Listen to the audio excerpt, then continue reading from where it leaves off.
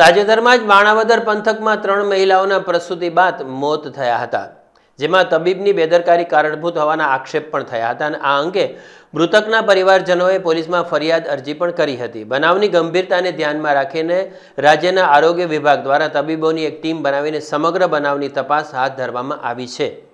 આજે આ ટીમે તપાસ હાથ ધરીને બનાવની તપાસ અર્થે માણાવદર પહોંચીને મૃતક મહિલાઓના પરિવારજનોના નિવેદન લઈને તપાસનો ધમધમાટ શરૂ કર્યો હતો.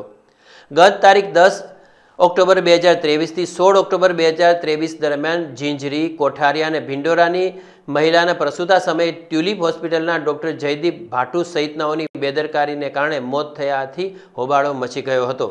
આ અંગે આરોગ્ય વિભાગ દ્વારા સાત તબીબોની ટીમ બનાવીને સમગ્ર બનાવની તપાસનો આદેશ કરવામાં આવ્યા બાદ આજે તપાસની ટીમે માણાવદર રૂબરૂ પહોંચી જઈને મૃતક મહિલાઓના પરિવારજનોના નિવેદન લેવાની કામગીરી શરૂ કરી છે.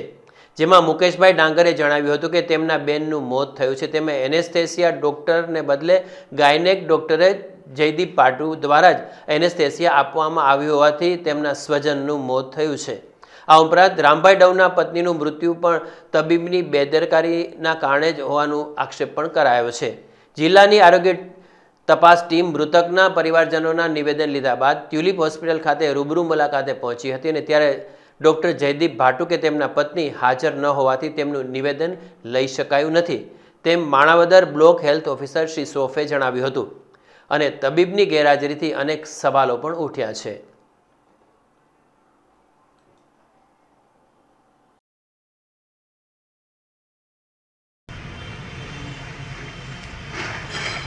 એને છે ને પેલે બાંધવું પડશે.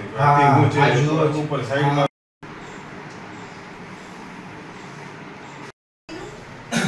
અમે મારી ઘરવાળીને દુખાવો ઉપડતા અમે Tulip Manavadar Tulip hospital Jaydeep Bhatu અને દિશા ભાટુને અહીંયા લઈ ગયા. તો એને અમને કીધું કે આને સિઝેરિયન આવશે નોર્મલ તો કોઈ સંજોગોમાં થાય નહીં. પછી અમે ચર્ચા કરીને સાહેબને કીધું કે કાંઈ વાંધો નહીં સાહેબ સિઝેરિયન કરી નાખો, બરાબર? તો એને સિજિરિયન કરી નાખ્યું પરબારું, બરાબર? પછી અમને બીજા રૂમમાં શિફ્ટ કરી દીધા. કોઈ એને થીસ્યા નહીં કે કોઈ નહીં, અમે સીડી પાંચ બેઠા હતા. આની એકલો જ બધું હેન્ડલ કર્યું સાહેબે, બરાબર? પછી બીજા રૂમમાં અમને બદલાઈ બીજા રૂમમાં દાખલ કર્યા તો અહીંયા અમે ત્રણ વાર લોહીની ચાદરો બદલે એટલું લોહી નીકળ્યું. તોય સાહેબ સામે જોવા નથી આવ્યા બે વાર બોલાવા ગયા સાહેબને. સાહેબ આવ્યા નથી, બરાબર? પછી અતિ ભયંકર હાવ મારી ઘરવાળી બે ભાન હાલતમાં. તો એને બે ઇન્જેક્શન દઈ ગયા તો પછી હાવ બોલતી બંધ. એટલું લોહી નીકળ્યું, આ કેસ પછી એને એની ટ્રીટમેન્ટ કરી કે કમળો છે, તો આ ટ્રીટમેન્ટ ને બધી કરી.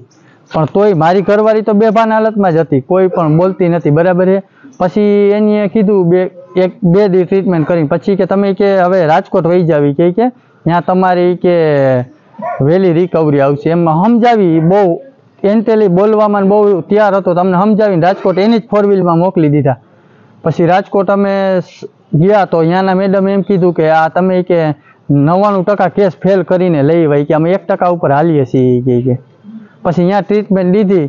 અને અહીંયા મારી ઘરવાળી ફેલ થઈ ગઈ. મારું નામ સુમિતા ધ્રાંગા છે. પ્રવીણાજી ઓફ થઈ ગઈ છે ટ્યુલિપ હોસ્પિટલમાં, એ મારી ભાભી છે. હું મારી ભાભીની જોડે જોડે હતી.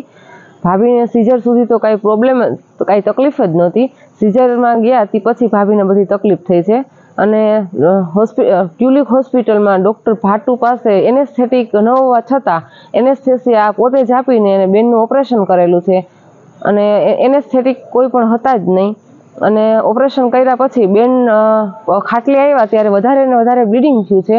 અને બ્લીડિંગ થતાં અમારા ભાભી છે, જે મૃતક, તે રાવડી થઈ હતી. રાવડી થતાં પેશન્ટને રાવડી થઈ તો દર્દીને બેભાનનું ઇન્જેક્શન આપેલું છે. એકવાર ઇન્જેક્શન આપ્યા પછી થોડીક હોશમાં આવી અને થોડીક પાછી તકલીફ ઊભી થઈ તો પાછું એને, પાછું ઘેરનું ઇન્જેક્શન